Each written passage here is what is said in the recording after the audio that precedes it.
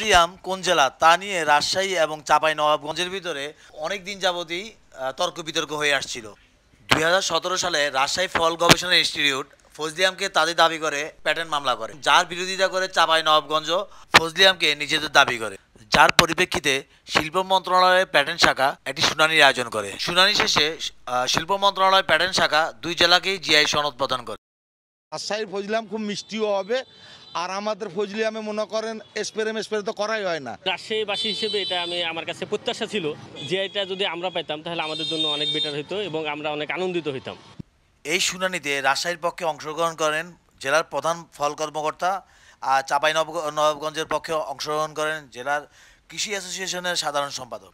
উভয় পক্ষের দায়িত্বশীলেরা জানান আলোচনার মাধ্যমে রায়ের ব্যাপারে পরবর্তী সিদ্ধান্ত নেওয়া হবে।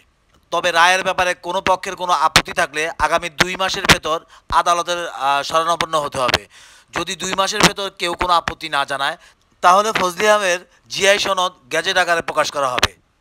এবং এতে করে রাজশাহী এবং চাঁপাই নবাবগঞ্জ দুই জেলায় জিআই সনদের মালিক হবে। ধন্যবাদ সবাইকে।